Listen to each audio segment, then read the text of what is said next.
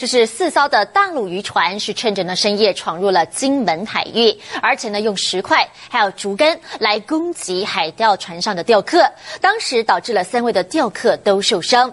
而这整体的冲突其实主要原因就是全是为了要捕捞野生的黄鱼，因为一斤现在要价台币五千元。就到这大了，你看。一块又一块比脸还大的石头，把船舱内外砸得伤痕累累。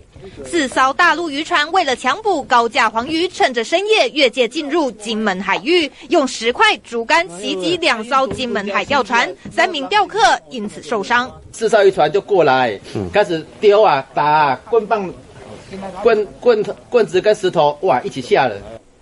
大陆渔船轮番冲撞金门渔船，被对方渔网困住的我方渔船只能被动挨打。等到海巡队出海通气，大陆渔船早已消失无踪。而之所以引爆渔船抢捞纠纷，为的就是这个黄鱼啊！野生黄鱼主要生长在金门、马祖海域，价格连连翻涨，在大陆更是高档的馈赠厚礼，每斤卖价台币五千元起跳，两斤以上更是翻倍计价。而在金门，今年渔民捕获六斤的黄鱼，创下最高纪录，卖得台币十六万元的惊人价格。